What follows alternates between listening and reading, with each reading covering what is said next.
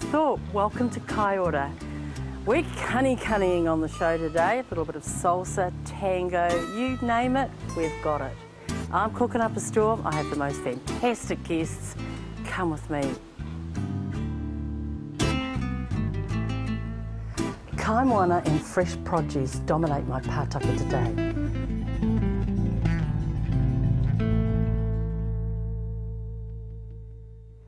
Ocean Seafood in Auckland have supplied me with these gorgeous crayfish. I've got some Moreton Bay bugs here, which are known as slipper lobster also. And you know what? The snapper is that fresh, it's being fished in the Hauraki Gulf as we speak. Well, I'm kicking off with a very delicate dish today, and it's made with these Moreton Bay bugs, or the slipper lobster as it's known elsewhere.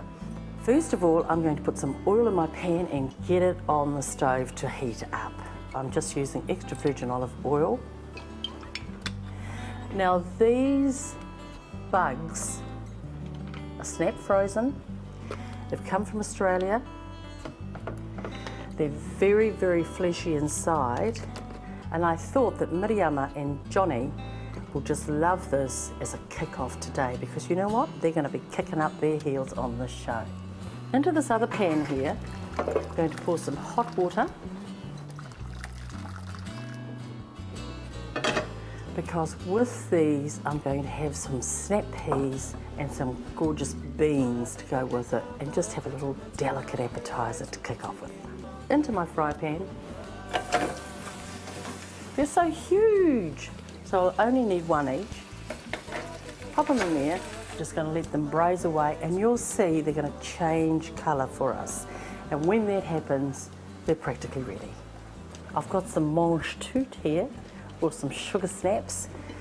Just tidy them up while we're waiting for those bugs to cook. And with these beautiful beans, there's no string to them, so all we need to do is just cut them up a little bit. Nice bite-sized pieces. Now my beans have come from the market. They were picked yesterday. Hey, look what's happening. I'll show you. Look, they're changing colour. They're nearly cooked. Get these out of here smartly. Put them into the water. Chill them right down instantly. The colour's going to stay there. The crunch is going to be there. Voila! Look at that. Cooked perfectly. Pull them out of here.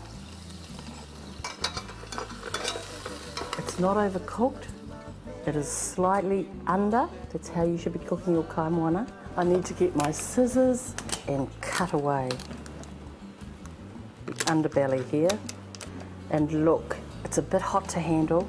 I cut these up like this. I'm going to plate this little appetizer up. So you've got the best of the bean family, you've got the best of the pea family. I'm going to dress this, of course, with extra virgin olive oil a little bit of lime, and I'm going to garnish with the beet leaves that I've got here from our baby beets that we're going to be using later. Sprinkle with a little bit of New Zealand sea salt and some freshly ground white pepper. And there we have it, a lovely little appetizer from Miriama, Johnny and myself. Tahirua, cha-cha-cha, toru whā, cha-cha-cha. I'm cooking kani kani koura today. And why? Because my guests, Johnny and Miriama, are dance stars. Yeah, and I'm getting my little wriggle in before they get here. Here we go, over here. They were alive just before, but we've knocked them off so I can put them in my steamer. I love using the lemongrass in my cooking. I love the fragrance it has. It's very subtle. So I'm just cutting it and bruising it to get out the maximum flavour from it.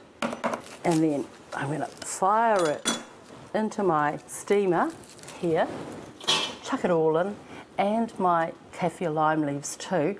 The koura is going to have a lovely perfume to it, but just very, very subtle. Put this bigger one in first.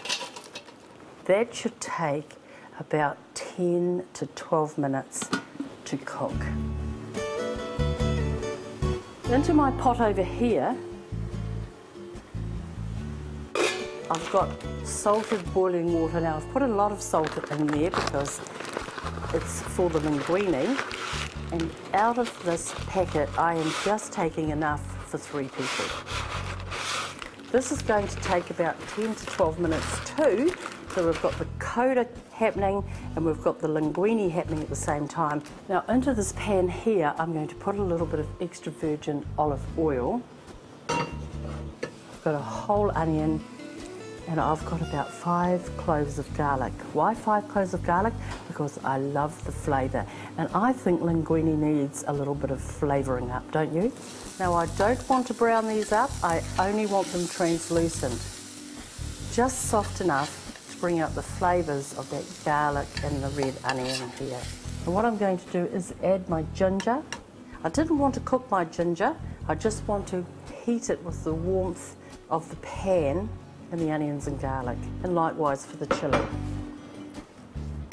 Those are my lovely flavourings for my linguine. You don't want to overcook the linguine. Try it. Let's have a look. Well, it's not very far away. What's the time? Yep. I'd say one more minute and it's ready. The crayfish must be ready too. Let's have a look. Look. Look how beautiful they are.